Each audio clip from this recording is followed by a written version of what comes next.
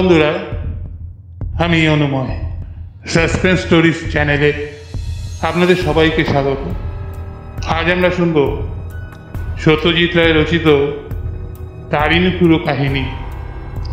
মহারাজা তারিণী করো আর একটা কথা, আমাদের কাজ যদি আপনাদের ভালো লাগে, তাহলে আমাদের চ্যানেলটিকে সাবস্ক্রাইব করে পাশে থাকুন। আমাদের এগিয়ে যেতে সাহায্য করুন। শুরু হচ্ছে সত্যজিৎ রায় রচিত মহারাজা তারিণী খুড়ো।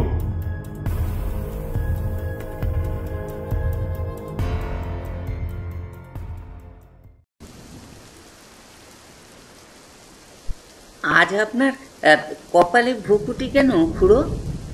জিজ্ঞেস করল ন্যাপলা। এটা অবশ্যই আমিও লক্ষ্য করেছিলাম। খুড়ো তক্ত উপসের ওপর বাবু হয়ে বসে ডান হাতটা পায়ের পাতায় রেখে অল্প অল্প দুলছেন তার কপালে ভাঁজ। খুড়ো বললেন এই বাদলার সন্ধ্যায় গরম চা যতক্ষণ না পেটে পড়ছে ততক্ষণ ভুকুটি থাকতে বাধ্য। খুড়ো আসার সঙ্গে সঙ্গেই চা অর্ডার দেওয়া হয়েছে। বেশি দেরিও হয়নি। তাও আমি আরেকবার চা করে নাম ধরে হাঁক দিলাম। আপনার গল্প ফাঁদা হয়ে গেছে? ন্যাপলা জিজ্ঞেস করল সত্যি? ওর সাহসের অন্ত নেই। আমি ফাঁদি না। আমার অভিজ্ঞতা স্টক অঢেল সে পুরোতে পুরোতে তোদের গোঁপদারি গুজিয়ে যাবে। চা এলো। খুড়ো একটা সশব্দ চুমুক দিয়ে বললেন, একদিনকার সুলতানের গল্প তারা হয়তো শুনেছিস। সেটা ঘটেছিল হুমায়ুনের যুগে। সেরকম আমাকে পাঁচ দিনের মহারাজা হতে হয়েছিল একটা নেটিভ স্টেটে সে গল্প তোদের বলেছি কি?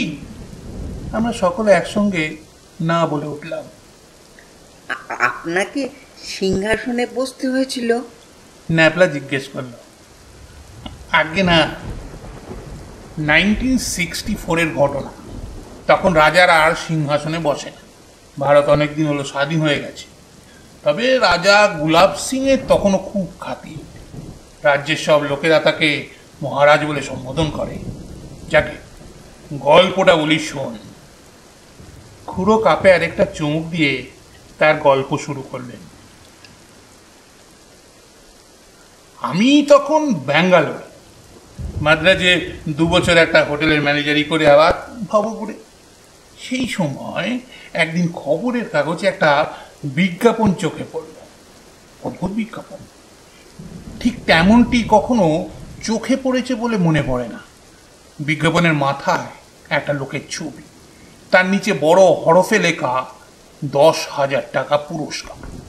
তারপর ছোট হরফে লিখছে যে, ছবির চেহারার সঙ্গে আদল আছে এমন লোক যদি কেউ থাকে। সে যেন নিম্নলিখিত ঠিকানায় অ্যাপ্লাই করে তার নিজের ছবি সমেত। যাদের চেহারা মিলবে তাদের ইন্টারভিউতে রাখা হবে।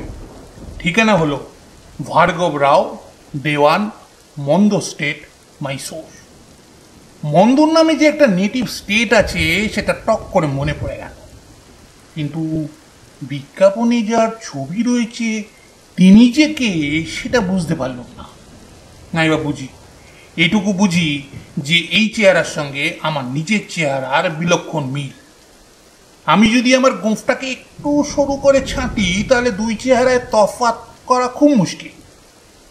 গোঁফ ছেটে ভিক্টোরিয়া ফটো স্টোর্সে গিয়ে একটা পাসপোর্ট সাইজের ছবি তুলিয়ে অ্যাপ্লাই করে দিল দশ হাজার টাকার লোভ সামলানো কি সহজ কথা? সাত দিনের মধ্যে উত্তর এসেছিল। ইন্টারভিউয়ের জন্য ডাক পড়েছে। যাতায়াতের খরচ বিজ্ঞাপনদাতারাই দেবেন। বোর্ড অ্যান্ড লজিং তাদের দায়িত্ব। আমি যেন অবিলম্বে মন্দর রওনা দিই। এও বলা ছিল, আমি যেন সঙ্গে দিন দশেকের মতো জামা কাপড় নিয়ে নিই। পরের দিনই একটা টেলিগ্রাম ছেড়ে দিয়ে রওনা দিয়ে দিল। হুগলি ছাড়িয়ে দুটো স্টেশন পরেই মন্দ। আমার জন্য স্টেশনের লোক থাকার কথা। অনেকখানি রাস্তা। ভাবতে ভাবতে গেলুম এই বিজ্ঞাপনে কি মানে হতে পারে? যে ভদ্রলোকের ছবিটা দেওয়া হয়েছিল বিজ্ঞাপনে তিনি যে সম্ভ্রান্ত বংশের লোক, তাতে কিন্তু তার জোড়া কেন দরকার হবে, তা আমার মাথায় ঢুকলো। মন্দ স্টেশনে সুটকেস নিয়ে নেমে এদিক ওদিক দেখছি। এমন সময় এক বছর ষাটেকের ভদ্রলোক আমার দিকে এগিয়ে এলেন। ইউর মিস্টার ব্যানার্জি আমার দিকে ডান হাত বাড়িয়ে জিজ্ঞেস করলেন ভদ্রলোক। তিনি যে রীতিমতো অবাক হয়েছেন সেটা আর বলে দিতে হয় না। আমি বললুম হ্যাঁ আমি মিস্টার ব্যানার্জি আমার নাম ভার্গব রাও। আমি মন্দরের দেয়ান। আমাদের বিশেষ সৌভাগ্য যে আপনার মতো একজন ক্যান্ডিডেট পেয়েছি। কিসের ক্যান্ডিডেট? আগে গাড়িতে উঠুন পথে যেতে যেতে সব কথা হবে। আমাদের এখন রাজবাড়ি যেতে হবে এখান থেকে সাত কিলোমিটার।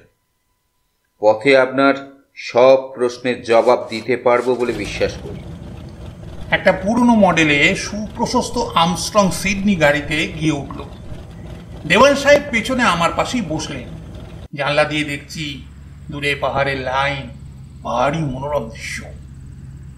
গাড়ি রওনা হওয়ার পর দেওয়ান রহস্য উদ্ঘাটন করতে শুরু করলেন।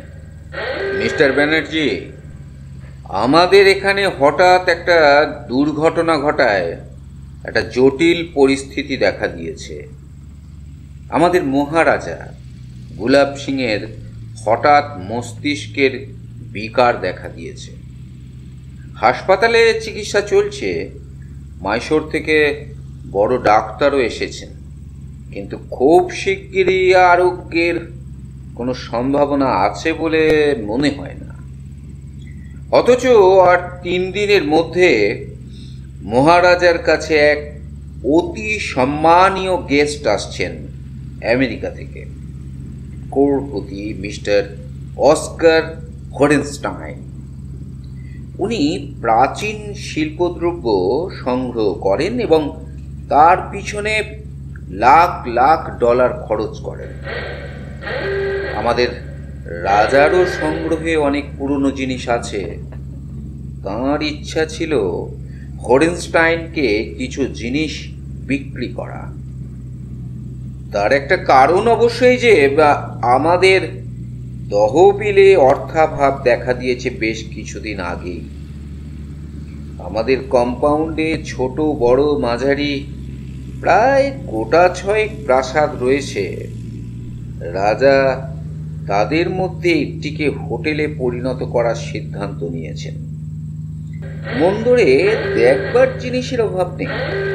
লেক আছে, পাহাড় আছে, জঙ্গলে হাতি, বাঘ, হরিণ আছে। তাছাড়া এখানকার আবহাওয়াও স্বাস্থ্যকর। ঠিকমতো বিজ্ঞাপন দিলে হোটেলের ব্যবসা মার খাবে বলে মনে হয় না। কিন্তু তার আগে কিছু নগদ টাকা পাবার সম্ভাবনা ছিল এই হোরেনস্টাইনের কাছে। সেই জন্যই তাকে আর আমরা আসতে বারণ করিনি। বা রাজার অসুখের কথা বলিনি। বুঝতেই তো পারছেন। বুঝতে আমি পেরেছিলাম। বললাম তার মানে খবরের কাগজে ছবিটা ছিল রাজার ছবি। আর আমাকে কিছুদিনের জন্য রাজার ভূমিকায় অবতীর্ণ হতে হবে। শুধু যে কদিন হোরেনস্টাইন থাকবেন সেই কদিন। ওরেনস্টাইনের সঙ্গে রাজার আলাপ হয় কোথায়? আমেরিকা মিনিয়াপোলিস শহরে।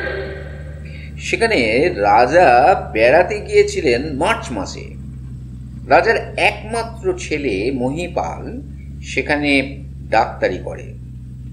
মিনিওপোলিসে থাকতে একটা পার্টিতে রাজার সঙ্গে হোরেনস্টাইনের আলাপ হয় সেখানেই রাজা তাকে আমন্ত্রণ জানান। হোরেনস্টাইনের শিকারের শখ আছে। কাজেই একদিন শিকারের বন্দোবস্ত করতে হবে বুঝলেন? আপনি গুলি চালাতে পারেন? আমি বললাম বিলক্ষণ যদিও শিকার করিনি প্রায় দশ বারো বছর। এ শিকার হাতির পিঠ থেকে। কাজেই অপেক্ষাকৃত নিরাপদ। আপনি যে রাজা সংগ্রহের কথা বলছিলেন এগুলো কি ধরনের জিনিস? বেশিরভাগই অস্ত্র শস্ত্র ছোড়া ঢাল, তলোয়ার, পিস্তল, এসব প্রচুর আছে। এবং দেখলেই বুঝতে পারবেন সেগুলো কত মূল্যবান। এছাড়া প্রসাধনের জিনিসপত্র, আতরদান, আলবোলা, ছবি, ফুলদানি, এসবও আছে। আমার মনে হয় না আপনাকে বেশি পীড়াপিড়ি করতে হবে। সাহেবের কথা যা শুনলাম তাতে তিনি নিজেই কিনতে আগ্রহী হবেন। ইনি আসবেন বলে রাজা একটা দামের তালিকাও করে রেখেছিলেন। সেটাও আপনাকে দিয়ে দেব। দেওয়ানের সঙ্গে কথা বলে সমস্ত ব্যাপারটা বুঝতে পারলাম। আমাকে সাজতে হবে পাঁচ দিনকার সুলতান। তারপর আবার যে কে সেই অবশ্যই পারিশ্রমিকের কথা ভুললে চলবে না। তখনকার দিনে দশ হাজার টাকার ভ্যালু এখনকার চেয়ে পাঁচ গুণ বেশি। রাজবাড়ির বিশাল ফটক দিয়ে যখন গাড়ি ঢুকছি, তখন বুকের ভিতরে বেশ একটা করছি কিন্তু সত্যি বলতে কি, নার্ভাস একটু হইনি গাড়িতে দেওয়ান বাড়তিনেক আমাদেরকে চেয়ে চেয়ে দেখে বললেন, আমি স্বপ্নেও ভাবিনি যে আমাদের বিজ্ঞাপনের উত্তরে আমরা রাজার এমন একজন জোড়া পেয়ে যাব। আমি ধরেই নিয়েছিলাম আমাদের অতিথিকে জানিয়ে দিতে হবে তিনি যেন না আসেন। এখন দেখছি সাপও মরল, লাঠিও ভাঙল না। সাহেব আসবেন বুধবার, আজ রবিবার। এই তিন দিন আমার কাজ হচ্ছে রাজার ডায়েরি পড়া, আর টেপ রেকর্ডারে রাজার কণ্ঠস্বর শোনা। গোটা তিনেক ইংরেজি বক্তৃতার টেপ করা আছে। দেওয়ান সেগুলো আমার জিম্বায় দিয়ে দিলেন, আর সেই সঙ্গে চামড়ার বাঁধানো গত দশ বছরের ডায়েরি। ডায়েরিগুলো উল্টে পাল্টে দেখলুম, ইংরেজিতে লেখা, এবং বেশ চোস্ত ইংরেজি। নানান খুঁটিনাটি খবর রয়েছে তাতে। রাজা যখন ঘুম থেকে ওঠেন, কি ব্যায়াম করেন, কি খেতে ভালোবাসেন, কি পড়তে ভালোবাসেন, সঙ্গীতে রাজার রুচি নেই, এই সবই ডায়েরি থেকে জানা যায়। রাজার স্ত্রী মারা যান বছর তিনেক আগে। তাতে তিনি কীরকম ভেঙে পড়েছিলেন? মৃত্যুর পর পনেরো দিন ডায়েরির পাতা ফাঁকা। এসব খবরও আমার খুব কাজে দিল। তিন দিনের শেষে আমি দেওয়ানকে বললাম আমি একদম তৈরি। এছাড়া আরেকটা কথা আমি দুদিন থেকে বলব বলব করছিলাম সেটা আজ বলে দিলাম। হুম দেওয়ানজি ব্যবস্থা সবই ভালো কিন্তু আমার দ্বারা এই রাজসজ্জায় শোয়া চলবে না। অত নরম বিছানায় শোয়া আমার অভ্যেস নেই ওতে ঘুমের ব্যাঘাত হয়। তাহলে আপনি থাকবেন কোথায়? জিজ্ঞেস করলেন দেওয়ানজি। আমি বললাম কেন? আপনাদের এখানে তো অনেক ছোট ছোট প্রাসাদ রয়েছে। লালকুঠি পিলাকোঠি সফেদ কোঠি। এর একটাতে থাকা যায় না? তা অবশ্যই যায়। দেওয়ান চিন্তিতভাবে বললেন একদিক দিয়ে লাল কোঠিতে থাকার খুব সুবিধে। একটা চমৎকার শোবার ঘর আছে যেখানে মহারাজার বাপ মাঝে মাঝে থাকতেন। শত্রুঘ্ন সিং এক বাড়িতে বেশি দিন থাকা পছন্দ করতেন না। তাঁর জন্য নানা রকম ছোট ছোট বাসস্থান বানানো হয়েছিল। বেশ তো সেই লালকুটিতেই থাকব। থাকবেন? কেন? অসুবিধাটি কি? একটা ব্যাপার আছে। কি ব্যাপার? বছর পঞ্চাশেক বয়সে শত্রুঘ্ন সিং মাথা খারাপ হয়ে গিয়েছিল। উনি নিজের মাথায় রিভলভার মেরে আত্মহত্যা করেন এবং সেটা করেন ওই লাল কোঠির শোবার ঘরে। আপনার ধারণা তার প্রেতাত্মা বাস করেন ওই ঘরে। সে জানি না। তাঁর মৃত্যুর পর ও ঘরে আর কেউ থাকেনি। তাহলে ওই ঘরে আমি থাকব। এই অভিজ্ঞতার সুযোগ ছাড়া যায় না। আমি অনেক ভূত দেখেছি, তাই আমার ভূতের ভয় নেই। আর বিছানাটা যেন অত নরম না হয়। দেবান, রাজি হয়ে গেলেন? অবশ্যই অবাকও কম হননি। একজন বাঙালির যে এত সাহস থাকতে পারে, সেটা বোধহয় উনি ভাবতে পারেননি। সেদিনই বিকেলে সাহেব এসে পড়লেন। বয়স আন্দাজ পঞ্চাশ। আমার চেয়েও ইঞ্চি তিনেক লম্বা। মুখে সব মাংস যেন থুতনিতে গিয়ে জমা হয়েছে। নীল চোখে সোনালি চশমা, মাথায় কাঁচা পাকা মেশানো চুল, মাঝখানে সিটি করে ব্যাগ ব্রাশ করা। সাহেব আসা মাত্র অবশ্যই আমি তার সঙ্গে দেখা করিনি। দেওয়ানজি বললেন, লোকটা আগে সফেদ কুটিতে নিজের ঘরে গিয়ে উঠুক। তারপর কিছুটা সময় দিয়ে ওকে আপনার কাছে নিয়ে আসব। নইলে প্রেস্টিজ থাকে না। তবে হ্যাঁ একটা কথা বলে রাখি। সাহেব মনে হলো একটু তিরিক্ষি মেজাজের লোক। স্টেশন থেকে আসার পথে গাড়ির টায়ার পাংচার হয়। তাতে বেশ ক্ষেপে আছে। আমি মনে মনে ঠিকই করে রেখেছিল সাহেব মেজাজ দেখাল আমি দেখাবো না। আমার সঙ্গে দেখা হতে রাগ আর রসিকতা মিলিয়ে সাহেব বললেন well Maharaj what kind of a welcome is this মাঝ রাস্তায় আমাকে পনেরো মিনিট রোদের মধ্যে দাঁড়িয়ে থাকতে হলো। আমি যথাসাধ্য অ্যাপোলাইজ করলুম। বলুন যে আর কোনো বলতে হবে না সে গ্যারান্টি দিচ্ছি। সাহেব চেয়ারে বসলেন। তার জন্য শরবত এলো। সেটা খেয়ে যেন মাথাটা ঠান্ডা হলো। আমি বললাম তুমি এখানে কি কি করতে চাও সেটা আমাকে বলো। অবশ্যই আমার মোটামুটি জানাই আছে আর সে অনুযায়ী ব্যবস্থাও করেছি। কিন্তু আমি তোমার মুখ থেকে শুনতে চাই। সাহেব বলল আমার শিকারের শখ আছে। আমি বাঘ মারতে চাই। সে ব্যবস্থা করেছ? আমি মাথা নেড়ে জানালাম করেছি। আর আর আমি তোমার সংগ্রহ থেকে কিছু জিনিস কিনতে চাই আমার সংগ্রহের জন্য। বিশেষ করে সামনের বছর আমাদের বিয়ের রজত জয়ন্তী। আমার স্ত্রীর জন্য একটা ভালো উপহার আমি নিয়ে যেতে চাই। আশা করি আশা করি তেমন জিনিস আছে তোমার সংগ্রহে। সেটা তুমি দেখলেই বুঝতে পারবে। ভালো জিনিসের অভাব নেই আমার দেড়শো বছরের সংগ্রহে। দুপুরে খাবার পর সাহেবকে সংগ্রহশালায় নিয়ে যাওয়া হলো। আমি অবশ্য প্রথম দেখলুম জিনিসগুলো। দেখে চোখ জুড়িয়ে গেল। এমন মহামূল্য জিনিস, হাতছাড়া হয়ে যাবে ভাবতে আমার খারাপ লাগছিল। হলিনস্টাইন দেখলাম সমজদার লোক। সে চটপট কেনবার মতো জিনিস আলাদা করে রাখতে লাগল।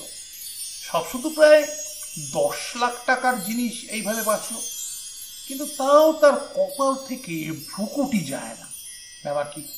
শেষটা এসে বলল সবই হলো কিন্তু ক্যাথলিনের উপযুক্ত কিছু পেলাম না এখনও। কোনো ভালো ডায়মন্ড ব্রোচ জাতীয় জিনিস তোমার নেই। আমার স্ত্রীর আবার পাথরের ওপর ভীষণ ফ্যান্সি। একখানা ভালো পাথরও যদি পেতাম তার জন্য আমি মাথা নেড়ে আক্ষেপ জানালাম। ভেরি সরি মিস্টার হোরেনস্টাইন পাথর থাকলে আমি তোমাকে নিশ্চয়ই দিতাম। দিনের বেলাটা সাহেবকে রাজার বড় গাড়ি লাগন্ডাতে ঘুরিয়ে শহরের নানান দৃশ্য দেখানো হলো। সন্ধ্যায় দুজনে বসে কিছুক্ষণ দাবা খেললাম। বুঝতে পারছিলাম সাহেব তার গিন্নির জন্য লাক্সই উপহার পেলেন না বলে তার মনটা ভারী হয়ে রয়েছে, আর তাই চালে ভুল হচ্ছে। কিন্তু মেজাজের কথা মাথায় রেখে আমি আরও বেশি ভুল চাল দিয়ে তাকে জিততে দিল। রাত্রি নটায় ষোড়শোপাচারে ডিনার খেয়ে, কফি আর ব্রান্ডিতে কিছুটা সময় দিয়ে সাহেব শুতে চলে গেলেন সফেদ কুটিতে। রাজা নিজে মদ্যপান করেন না, আমিও করি না। এখানে মিলেছে ভালো। আমি শুধু কফি আর একটা ভালো হাবানা চুরুট খেয়ে উঠে পড়লাম। দেওয়ান নিজে এলেন আমাকে লালকুটিতে পৌঁছে দিতে। আমি জিজ্ঞেস করলাম সাহেব, রাজা আছেন কেমন এখন? দেওয়ান মাথানের আক্ষেপ সূচক শব্দ করে বললেন সেই রকমই ফুল বকছেন। হাসপাতালের নার্সদের খুব জ্বালাচ্ছেন। ডাক্তাররাও হিমশিম খেয়ে যাচ্ছেন। লালকুটিতে গিয়ে দেখি এখানে খাট বিছানা তোষক বালি সবই অনেক ভদ্রস্থ অর্থাৎ আমার উপযোগী। দেওয়ানজি যাওয়ার সময় বলে গেলেন আপনার সাহসের তুলনা নেই। এই ঘরে রাজা শত্রুঘ্ন সিং মারা যাবার পর এই প্রথম মানুষ বাস করছে। আমি বললাম "হুম, কোনো চিন্তা করবেন না। আমি সব অবস্থাতেই নিজেকে সামাল দিতে পারি। খাটের পাশে একটা ল্যাম্প রয়েছে। সেটা জ্বালিয়ে কিছুক্ষণ মন্দরের ইতিহাস সম্বন্ধে একটা বই পড়ে সাড়ে এগারোটা নাগাদ বাতি নিভিয়ে দিলাম। পশ্চিমে একটা বড় জানলা রয়েছে। সেটা দিয়ে একসঙ্গে চাঁদের আলো আর ঝিঝিরে বাতাস আসছে। চোখে ঘুম আসতে বেশি সময় লাগল না। ঘুমটা ভাঙলো যখন, তখন চাঁদ নেবে গিয়ে ঘরের ভেতরটা আবছা আলোয় ভরে গেছে। চোখ সেই বুঝলাম যে ঘরে আমি একা নই। দরজা যদিও বন্ধ হয়ে আছে, তবু জানলার পাশে একজন লোক সোজা আমার দিকে চেয়ে দাঁড়িয়ে আছে। আমারই মতন লম্বা আর আমারই ধাঁচের চেহারা। কেবল গোঁফটা আমার চেয়ে একটু চাঁদের আলোয় খুব স্পষ্ট বোঝা না গেলেও লোকটা যে গাঢ় বিলিতি পোশাক পরে রয়েছে সেটা বেশ বুঝতে পারলাম। আমি কনুইয়ে ভর দিয়ে একটু উঠে বসলাম। বুকের ভেতরে মৃদু একটা কাঁপুনি অনুভব করছিলাম, কিন্তু সেটাকে আমি ভয় বলতে রাজি বেশ বুঝতে পারছি যে যিনি প্রবেশ করেছেন তিনি জ্যান্ত মানুষ নন তিনি প্রেতাত্মা। এবং তিনি যে বর্তমান মহারাজার বাপ শত্রুঘ্ন সিনের প্রেতাত্মা, তাতে কোনো সন্দেহ নেই। তিনি এই ঘরে নিজের মাথায় রিভলভার মেরে আত্মহত্যা করেছিলেন।